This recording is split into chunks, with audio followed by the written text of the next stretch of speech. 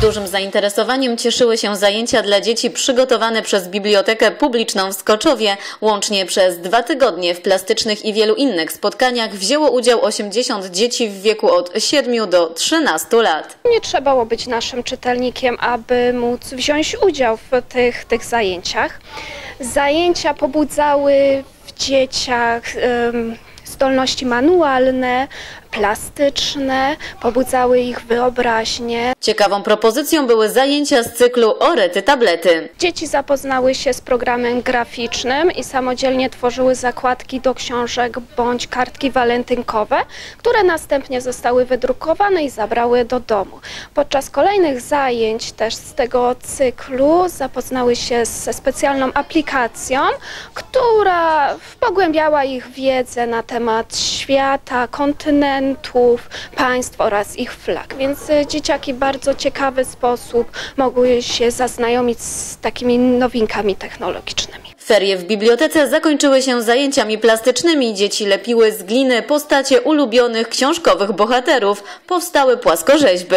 Jakie jeszcze zajęcia tutaj Pani prowadziła w czasie tych ferii? E, Pierwsze zajęcia e, to były zajęcia z grafiki warsztatowej. E, Dzieci nauczyły się wytwarzać swoją własną grafikę i dowiedziały się, czym jest Ex Libris. Jest to bardzo mocno powiązane w sumie z biblioteką, bo służyła, służyło to do ozdabiania dawno dawno temu książek. E, następne zajęcia to były zajęcia wspólne. Robiliśmy kolaż z okazji 70-lecia biblioteki. E, później graliśmy w gry planszowe, coś takiego na roz- rozluźnienie, żeby to nie była tylko praca twórcza. E, no i na sam koniec właśnie mamy zajęcia z gliny. E, Co takie zajęcia dają dzieciom? E, No na pewno jest to praca manualna, e, czyli stymulujemy dotyk e, i sensorykę.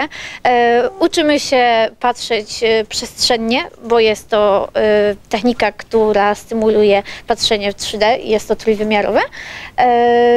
No i mam nadzieję, że w glinie nie rzeźbili, ponieważ różni się to od plasteliny. W tym się rzeźbi, a nie lepi, więc jest to kolejny jakiś taki aspekt nowy dla nich. I młodsze dzieci to one chętniej biorą udział w tych zajęciach plastycznych, czy, czy to nie do końca?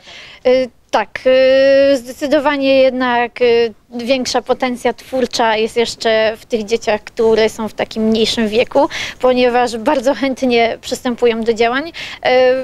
Te większe też, chociaż już pojawia się problem typu nie umiem, nie potrafię, albo to jest brzydkie, co akurat nie jest prawdą, no ale tak już bywa niestety.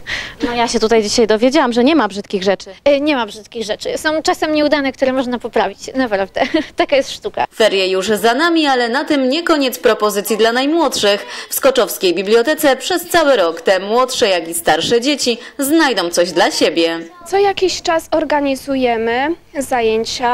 Są to zajęcia z, związane z młodymi naukowcami, które różne eksperymenty tutaj się przeprowadza w naszej bibliotece, e, czy również przez wakacje też jest cy- cykl spotkań, ale organizujemy także przedstawienia teatralne, więc dzieje się dużo, dużo w naszej bibliotece. Dla portalu Śląska Cieszyńskiego XPL Marta Szymik-Telesz.